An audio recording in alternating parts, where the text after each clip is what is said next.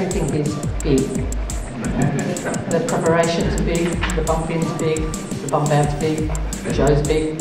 Um, CVIAQ did a study tour to Hanover and, and seriously the Brisbane Truck Show is a mini Hanover. It is just at that level, it's spectacular and you should be proud of yourself. Um, good luck to this evening's winners. You, it will be very well deserved and uh, I hope you uh, sell a shitload.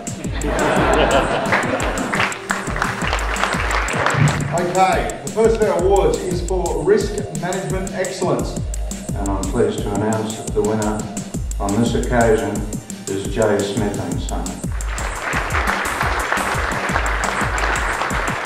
It is a privilege to receive this award.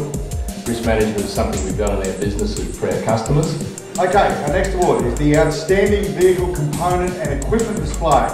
I'm very pleased to announce the uh, winner of this award is Detroit, Australia.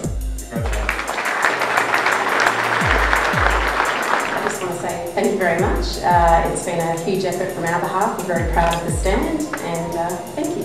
The Outstanding Trailer Truck Body Manufacturer Display.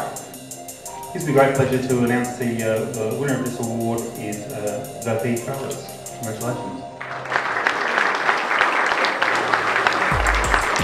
I want to thank CVIQ, I want to thank everyone here, all the other exhibitors, because I believe we've gone, everyone's gone up a notch. Outstanding Truck Manufacturer Display. and it goes to NC Square Global Cat Trucks.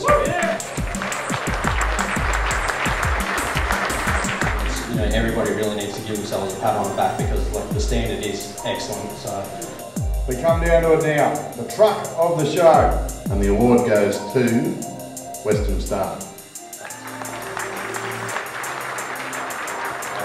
I- I'd just like to acknowledge uh, Pat Cook, my events manager, who put, uh, put a lot of effort in- into this truck. So um, again, thank you very much. To echo the words of someone who put it so, more, so much more succinctly than I ever could, I hope you sell a shitload.